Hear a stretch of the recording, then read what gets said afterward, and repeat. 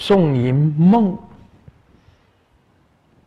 你梦见你骑着马，就是劫受，借为身劫受、气脉等痛等等等，就是劫受。梦啊，就是一种劫受。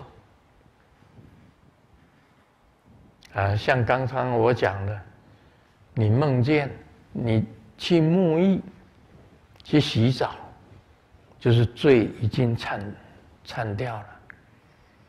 你梦见你骑着天马在天空飞行，就是你已经把地上的业障给它消除了。你梦见你坐在白莲花身上虚空。就是你地上的业障已经消除了，这个都是接受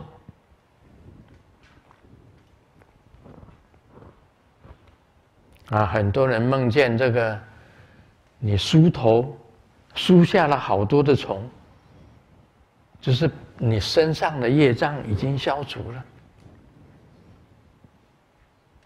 梦见吃到白色的食物，吐出黑色的食物，就是你已经得到灿相了。白色的雾进去，就是你身体是吃白叶、吐黑叶的，这个都是很好的啊。